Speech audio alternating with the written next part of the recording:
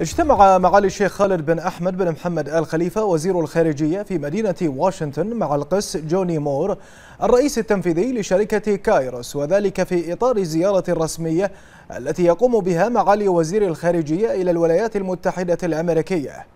وخلال الاجتماع نوه معالي وزير الخارجية بالتقدم الكبير الذي تشهده العلاقات التاريخية والاستراتيجية بين مملكة البحرين والولايات المتحدة الأمريكية في شتى المجالات الاقتصادية والسياسية والأمنية وكافة أوجه التعاون المشترك.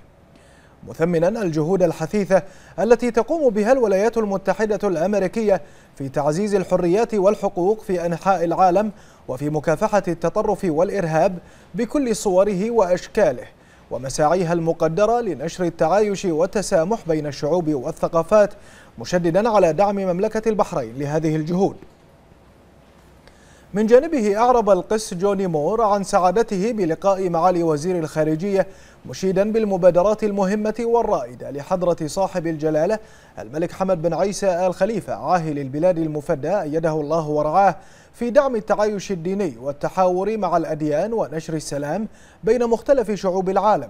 ومن بينها إنشاء مركز الملك حمد العالمي للتعايش السلمي وتدشين كرسي الملك حمد للحوار بين الأديان والتعايش السلمي بجامعة سابينزا الإيطالية. وإطلاق إعلان مملكة البحرين لتعزيز الحرية الدينية للجميع. مؤكدا أن مملكة البحرين أضحت نموذجا يحتذى في الحرية الدينية والتعددية والتسامح واحترام جميع الديانات متمنيا لمملكة البحرين دوام الرقي والتقدم.